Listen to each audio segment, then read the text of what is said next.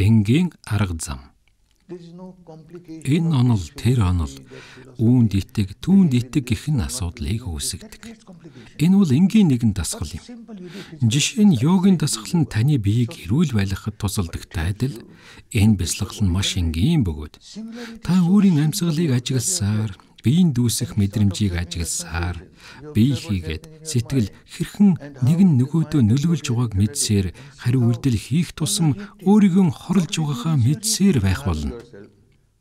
Ингэснээр аяндаа хариу үйлдэл хийх юм болно.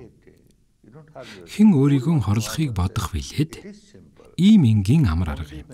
Харин бясалгалт сууж үзээгүй хүн энэ миний шашин биш, өөр шашин юм байна. Будда заасан бол бурхны шашных л байлгүй гих мэтэр төсөөлдөг. Би ч гэсэн тийм байдалтай байсан. Би хатуу хиндус үсэгтний гэр бүл төрж өссөн бөгөөд эн чин буддын шашин байна шүү дээ. Болохгүй гих бодол төрсөөр байсан ч би эцэст нь туршиж үзье гэж шийдээд ирсэн. 10 хоног дууссаны дараа эн чинь манай шашинд ч бас байдаг зүйл байна гэдгийг арга техник байхгүй байсныг ойлгосон юм. Зөвхөн онол байснаас гадна бас асуудал бэрхшээлэхтэй олон онолууд миний бурхан надад туслана. Түүний бурхан зөвхөн түүнд гих мэтэр бид бурхадыг яаж дормжилж байгаагаа мэддэггүй юм байна.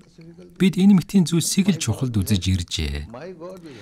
Үүний оронд бие хэлээрээ нүгэлт үйлдэл хийхгүй байх сэтгэлийнхээ эзэн байх.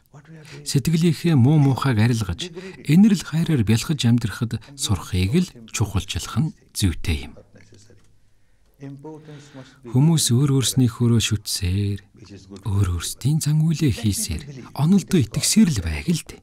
Түүнтэй маргах зүйл огт хэрэггүй.